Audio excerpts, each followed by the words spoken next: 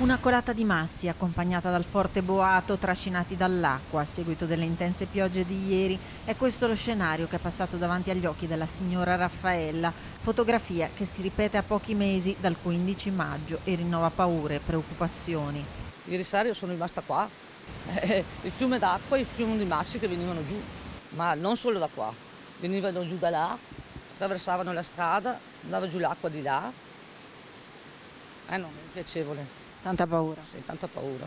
Siamo nei pressi della fontana di Mossano, nella strada dei Mulini, cartolina turistica tra ruscelli e natura nel cuore dei colli iberici, sfigurata dal maltempo. Due episodi, come dicevo, eh, violenti con delle bombe d'acqua che hanno messo in difficoltà sia la località di Mossano, Barbarano con qualche smottamento e, e Ponte di Barbarano, poi le, le, le, le frazioni eh, pianeggianti che vedono strade allagate e ovviamente eh, piani interrati sott'acqua. Numerose le frane e gli smottamenti nei comuni della Riviera Berica, del Basso Vicentino, da Longare ad Agugliaro, con strade chiuse per allagamenti come via Callisone via Cassilvestre a Nanto, altro comune che ha fatto i conti con le conseguenze del maltempo. Abbiamo eh, chiuso quattro vie che però non sono a Nanto ma eh, guardano Ponte di Nanto perché c'è il problema del bisatto che non scaricava l'acqua questa notte e pertanto queste vie si sono allagate sono due problemi diversi,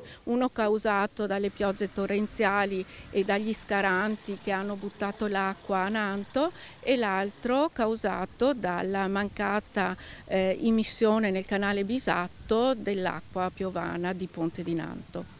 Violente precipitazioni che hanno provocato nella zona di Nanto paesi allagamenti alle abitazioni in via Barbarancapra e De Gora, dove per tutta la notte sono intervenuti protezione civile, vigili del fuoco e volontari del comune. Dalle nove e mezza abbiamo visto l'acqua che in, nel giro di dieci minuti è iniziata a salire e niente, ci siamo trovati l'acqua praticamente tutta in casa. Un mare era, l'acqua qua era tutto, tutto uno. Tanta paura?